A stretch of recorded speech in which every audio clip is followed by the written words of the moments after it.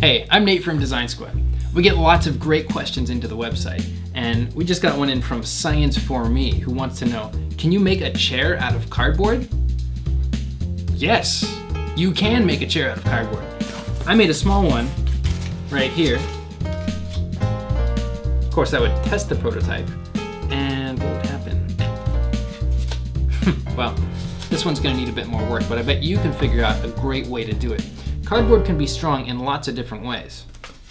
What if I put my chair sideways and sat on it that way? Cardboard is easy to bend in some directions and not so easy to bend in other directions. Cardboard is strong because of the middle layer between the smooth outsides. That middle layer is the corrugated part of the cardboard.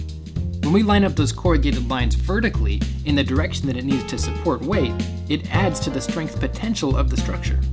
So if you set it up right, you could build a chair that would be really strong.